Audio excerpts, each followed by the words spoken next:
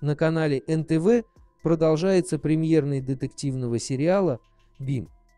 В сюжете с 5 по 8 серию, выход которых ожидается 11 января, мы увидим, что происходит убийство гадалки Ины. Последним, кто видел гадалку, был бизнесмен, спрашивавший советов по бизнесу.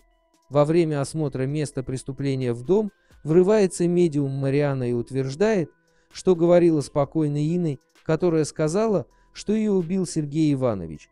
Поймать преступника помогает смекалка Макара, решившего спровоцировать убийцу и реакция Бима. Шестая серия. В офисе происходит конфликт между директором Мамедовым и сотрудником Евсеевым. Евсеев требует денег, которые заслужил при оформлении сделки. В этот же день в офис врывается человек в маске, обстреливает офис и убивает Мамедова. Следствие начинает подозревать Евсеева, но поговорив с ним, Макар понимает, что Евсеев не мог убить. Седьмая серия.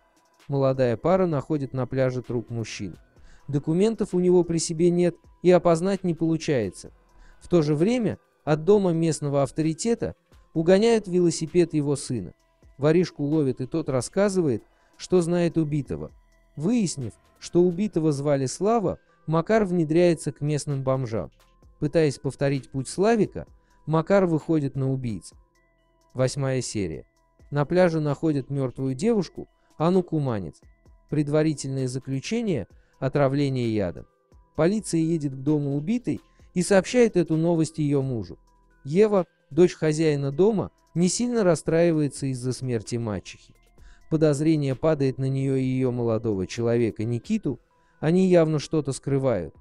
Премьера новых серий состоится 11 января на канале НТВ.